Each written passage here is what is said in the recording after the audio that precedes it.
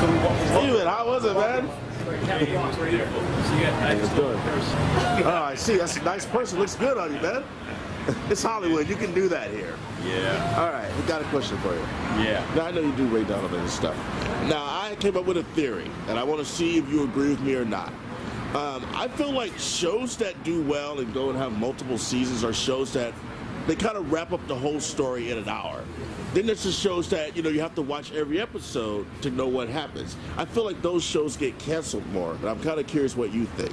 Man, all I know is that Ray Donovan uh, got off on a, a pretty good jump with some like really cool drama. Okay. And, uh, and some cool characters. And now we're in our fourth season. Yeah. It's, it's it's way cooler than when we started.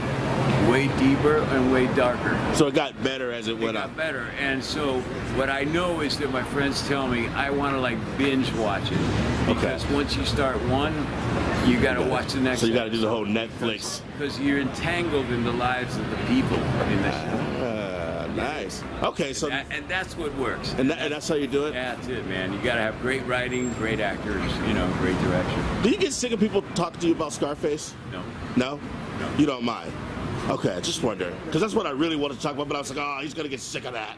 Because Yeah. everybody loves Scarface. No, I don't get sick. I don't get sick of that. I, listen, man, it's a long time coming.